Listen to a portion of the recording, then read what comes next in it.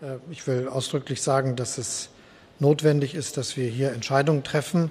Und dazu gehört immer auch, dass äh, Subventionen, die seit vielen, vielen Jahren hart kritisiert worden sind, in einem sehr sorgfältig abgewogenen Schritt abgebaut werden. Das ist der Vorschlag, den die Bundesregierung jetzt gemacht hat.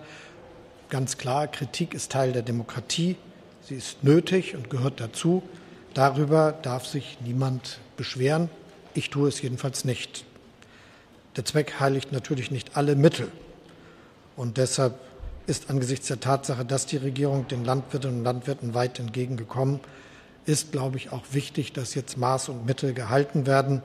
Das sollte auch ein Anliegen aller Demokratinnen und Demokraten sein, gerade in auffühlenden Zeiten wie diesen.